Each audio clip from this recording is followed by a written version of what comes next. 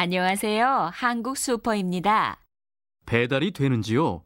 밖에 나갔다가 배달 광고를 보고 전화를 했습니다. 네, 배달이 됩니다.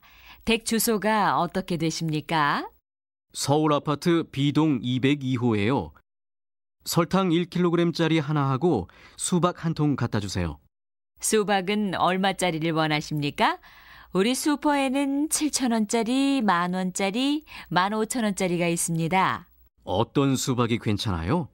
만 원짜리 수박이 값도 적당하고 달아서 많은 분들이 찾습니다. 그러면 만 원짜리로 주세요. 그리고 설탕도 1kg 부탁해요. 잠깐만 기다려 주세요. 설탕이 3,000원, 수박이 만 원, 모두 13,000원입니다. 네, 알겠습니다. 지금 갖다 주세요. 점심 먹으러 한국 식당에 갈까요? 네, 좋아요. 저도 한식을 좋아해요. 뭘 드시겠습니까? 이 식당에서 뭐가 맛있어요? 갈비탕이 맛있어요.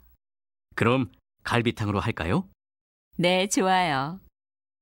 후식으로는 무엇을 드릴까요? 전 수정과를 주세요. 저도 같은 것으로 주세요. 네, 알겠습니다. 미리나 씨, 공항에 무슨 일이세요? 한국에 서류 하나를 보내야 합니다. 오늘은 꼭 보내야 하는데 어떻게 하면 좋아요? 제가 보내드릴게요. 정말 고맙습니다. 어떻게 보낼까요? 워낙 급한 서류라 택배가 좋을 것 같습니다. 번거롭게 해서 죄송합니다. 다음에 오시면 식사 한번 대접하겠습니다. 여기 보낼 서류와 돈입니다. 돈은 필요 없고요. 다음에 밥이나 한 끼 사세요.